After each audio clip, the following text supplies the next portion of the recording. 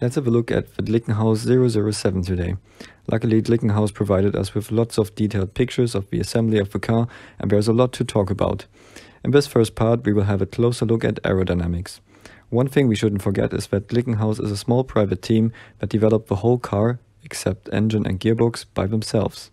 We see a front with less air intakes compared to the Toyota, and it looks like it has a single upper element with no additional flaps like the ByKolles. The Glickenhaus has no hybrid system, just as the ByKolles, but for that it has a pretty fat nose. At the very beginning of the project, Glickenhaus said they wanted to use a hybrid system, but decided not to use one later on. The fat nose might still be there because they developed the crash structure already, and that is a lot of work to change afterwards for a small team like them. We can see a front wing with raised center section to avoid stalling under braking, and we can also see flaps but their width is limited due to the wider nose. There are outlets on the front bodywork to release air off the front of the car. At the side we can see small flicks. They create some downforce and longitudinal vortices along the front wheels to suck air out of the wheel arches. Interesting is the center seating position. The rear wing has a lowered outboard flap trailing edge, but the main plane leading edge is the same across the span. This means they run a reduced camber outboard, which creates less pressure difference close to the end plate, which means a weaker tip vortex and less induced drag.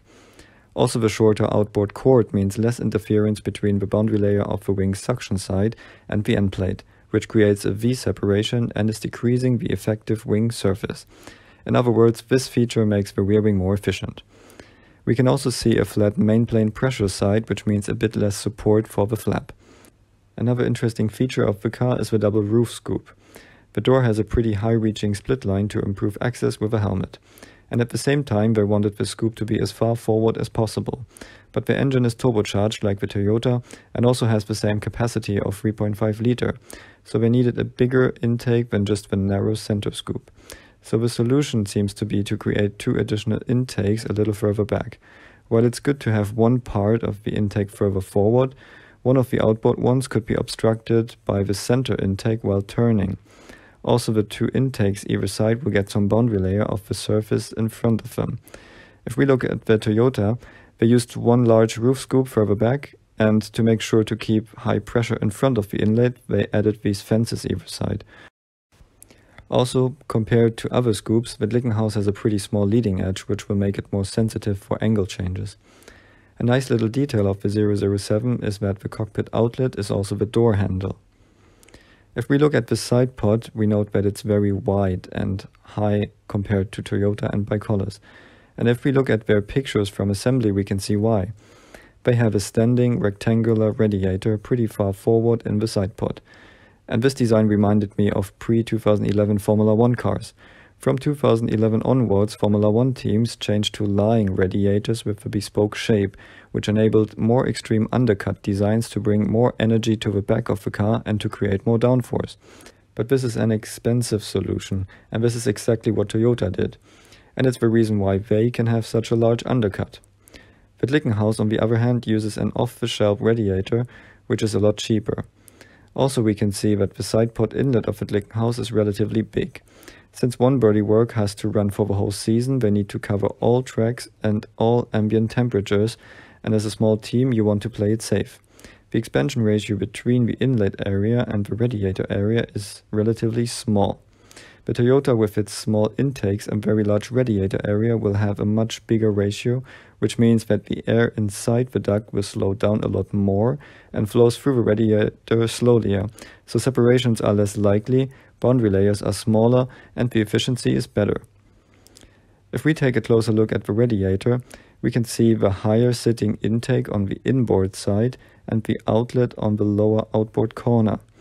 With this configuration, the hot water goes into the radiator on the shortest way and the cool water exits with a pipe that is running behind the radiator.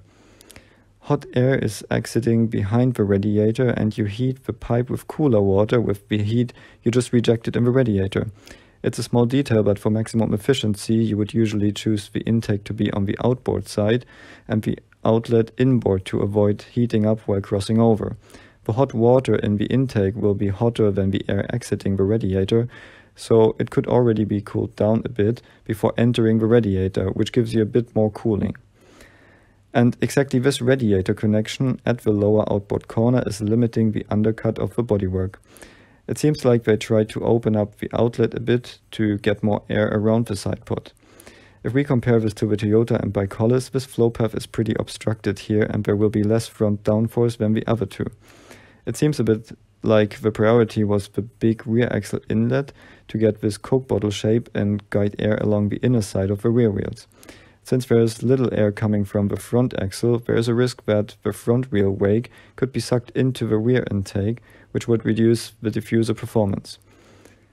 One thing I'm missing is an intercooler. From the turbo outlet positions, we can assume that it will sit in the side pod, but how will it get any air? I cannot imagine that they would position it behind the water radiator where hot air would hit the intercooler, and I cannot see any other air intakes, so that will be interesting to see once their assembly progresses. The wind tunnel pictures confirm the renderings, but the rear wing is a bit lower in the tunnel. Also, we can see a large diffuser with side expansion, something that the Toyota doesn't have, and large gurney flaps to support the diffuser. If we look under the bodywork, we can see the wishbones are a welded metal construction without aero profiles, and we can see a clutch cooling, which I found interesting.